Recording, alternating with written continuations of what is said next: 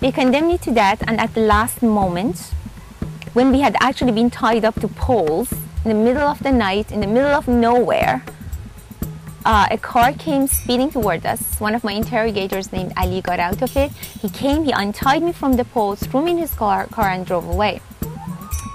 He said to me that uh, you are a prisoner, you're a woman, you're nobody, you have no rights, and I want you to marry me. A woman in the Middle East is supposed to be able to handle everything. You do not ask for help.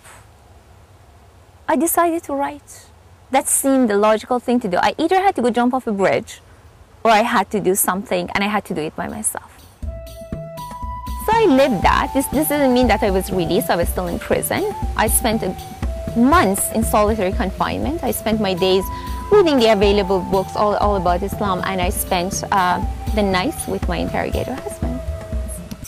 Ali was assassinated by a rival faction of the, of, a, of the government. They, used, they killed each other all the time back then his family, I think, bribed my way out or used the, their influence, but they got me out.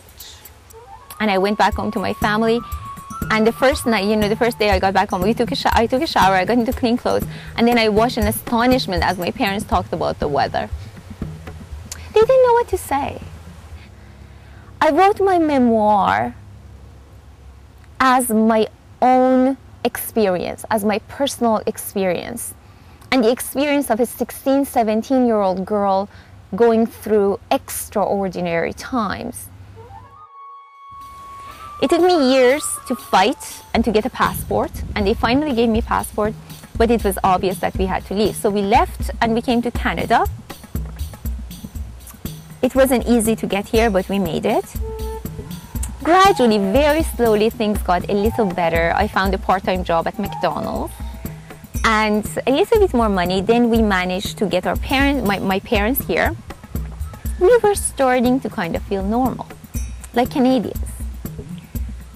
But that was when I guess all that mental energy that didn't have to be concentrated on survival had to go somewhere.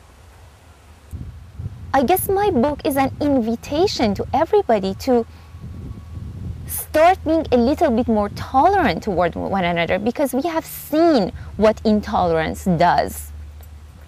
And we, I, we have all seen what happens when we try to justify horrible things.